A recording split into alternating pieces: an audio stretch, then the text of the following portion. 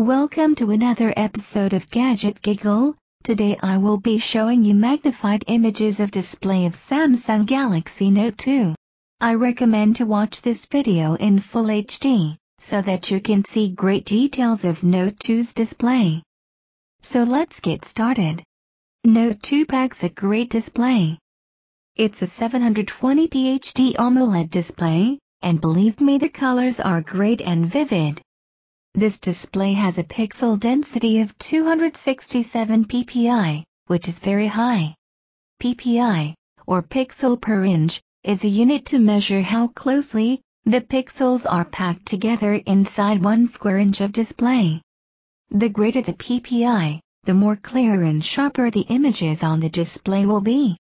As this display has very high pixel density, so it was very difficult to capture those tiny pixels in an image. These images were shot with macro mode with very low ISO settings.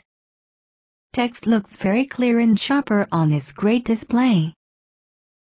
Unlike Samsung Galaxy S3 and Samsung Galaxy S4, which both have a pentile display, the display of Samsung Galaxy Note 2 is non-pentile. A pentile display have only two subpixels per pixel, like RGBG, but, in a non-pentile display, every pixel has three subpixels, that is, red, green and blue subpixel. The display on Note 2 is very large 5.5-inch display, which can display up to 16 million colors.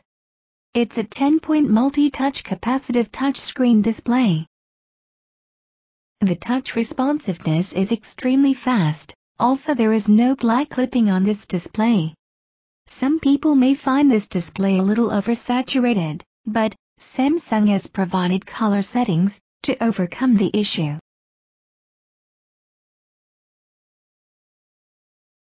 That's all, thanks for watching the video. Please, like, comment, and subscribe for more videos.